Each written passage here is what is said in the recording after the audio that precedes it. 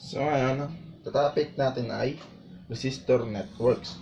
So under resistor networks, meron tayong series and parallel networks.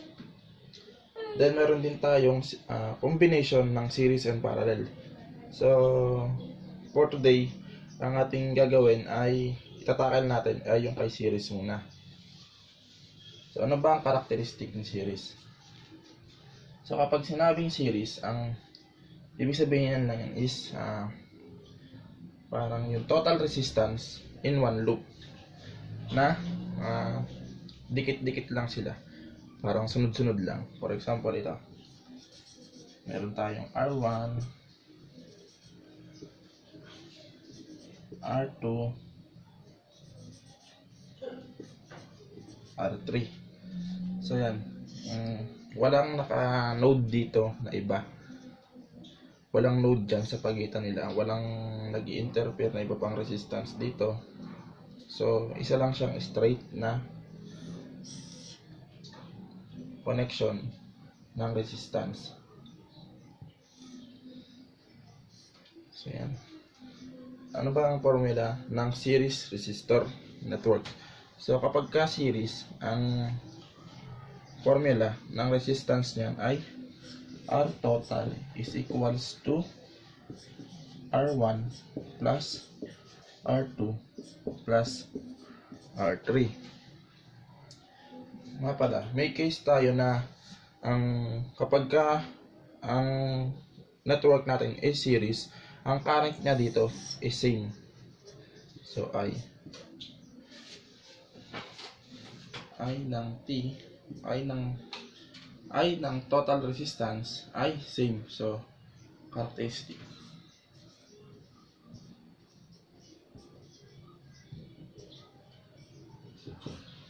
Yung I is same.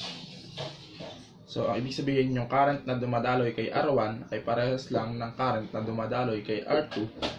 Ganon din kay R3. So, kung yan ay may R4 pa, so on so forth, uh, same lang yung current na binaba na tatanggap niya.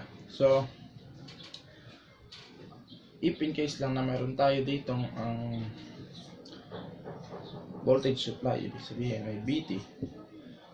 Si BT.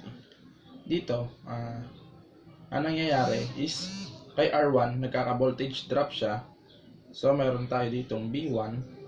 Dito, nagkakaroon tayo kay R2 ng B2 which is yung voltage kay resistance 2 and meron din tayong B3 yung voltage kay resistance resistant resistor 3 so yan. Ang ano niyan ang idea niyan is yung voltage supply natin is uh, nahahati kapag ka naka-series tayo.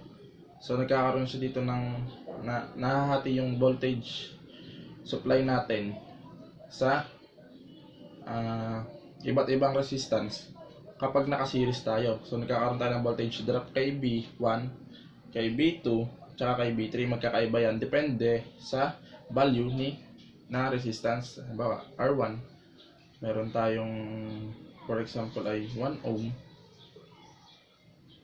Dito ay 2 ohm. Dito ay 3 ohm. So, iba't ibang voltage drop ang meron sa uh, iba't ibang resistor. So, ang ibig sabihin lang yon si BT ay equals ha uh, B1 plus B2 plus B3 kung mayroon pa. Basta yan muna. Sa B1 plus B2 plus B3 so ibig sabihin si resist si voltage niya ay iba-iba ang voltage drop So, yun lang yung karakteristik ni series resistor network.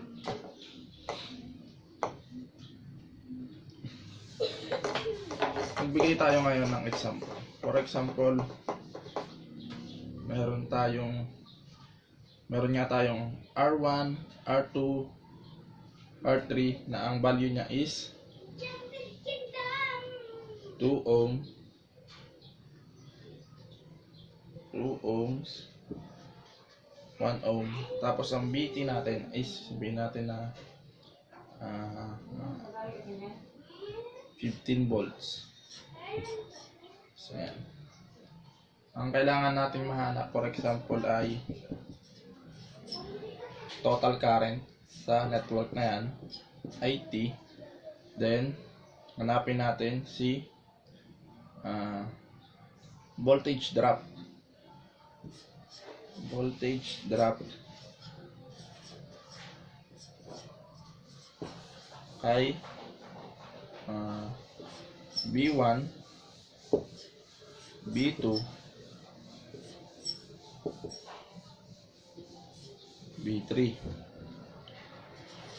So, yan. Yan ang mga kailangan natin mahanap. B1, B2, B3. So, try natin hanapin muna yung current na. So, ang current nga natin by Ohm's law. Ohm's law I I is equals to B over R. So, equal na rin yan. I is equal to mhm, 15 volts over total resistance. Ang total resistance natin is ah 1 ohm plus 2 ohm plus 3 ohm. So, I is equal to 15 volts over 6 ohm. So, yun yung ating formula. Wait lang, hanapin ko lang ang calculator.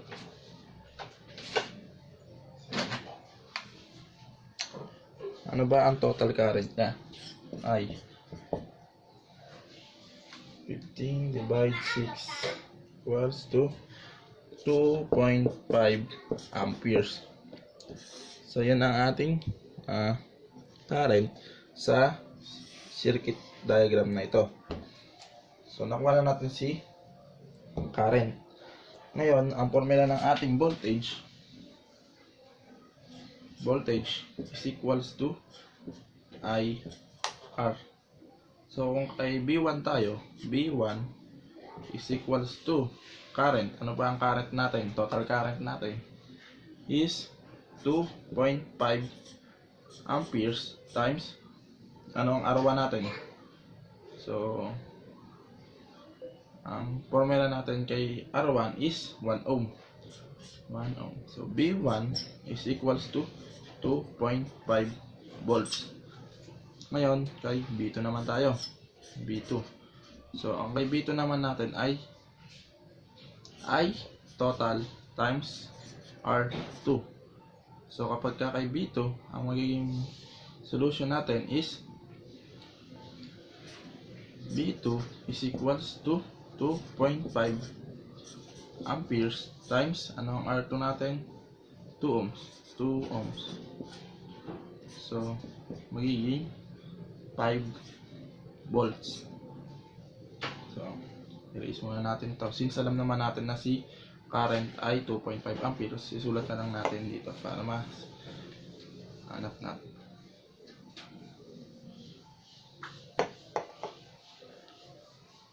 tayong si B2. B2. So, kay B3, equals. Kay B3, ang ating formula is I T B R3. Yan. Yung labo. So, B3 is equals to 2.5 amperes times ang R3 natin is 3 ohms. So, B3 is equals to 7.5 volts. So, ibig sabihin, nakuha na natin si current natin kanina. Si current natin is equals to 2.5 amperes. Ngayon, di ba kanina na-discuss na natin na ang BT ay equal sa B1 plus B2 plus B3. So, try natin kung ah, tunay ba na uh, nahahati yung ating voltage kapag naka-series ah, resistor network tayo. So, ang B1 natin, ang BT natin ay equal sa 2.5 volts plus 5 volts plus 7.5 volts. So kung isa-sum up natin yan is VT is equals to 15 volts which is sa circuit diagram is tama naman na 15 volts yung ating given. So kung mapapansin nyo, talagang nahati. Nagkaroon ng, ng voltage drop ang each resistor which is nahati nga yung ating 15 volts. So ganyan yung mga nagiging response kapag naka-series sa resistor network tayo. Ang current na is same. Then, yung voltage niya is nahahati each resistance. So, yun lang.